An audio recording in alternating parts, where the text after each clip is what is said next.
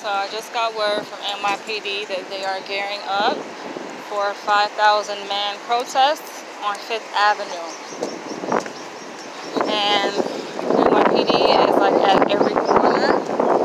As you see, they have it blocked off here.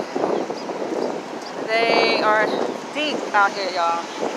They are gearing up and just getting started and it's 308 right now but you guys see her down there like they are everywhere everywhere you turn and New York is still in a curfew but the protests are still happening look at the little cute little cars though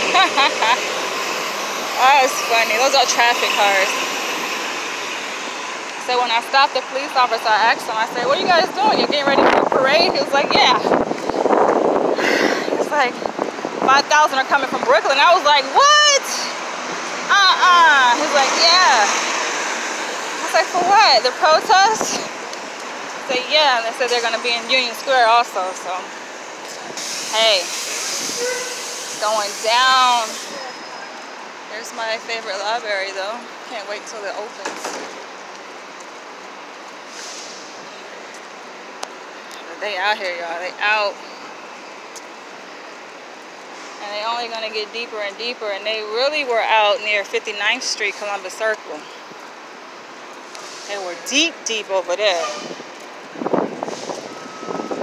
So of course I'm not going to be out here at that time I think it's probably going to come like closer towards the curfew time. Many are protesting against not only racial injustice and police brutality but they're also protesting against the curfew that has been enforced out here in New York, 8 p.m. curfew. So, way to go, guys. There's power in numbers. And even though I think NYPD, they are over, I think, what, 30,000 strong? But New York population is much stronger. New York is 8 million people, so 8 million plus people. And you guys can see most of these businesses are boarded up. but huh, I'll catch you guys later.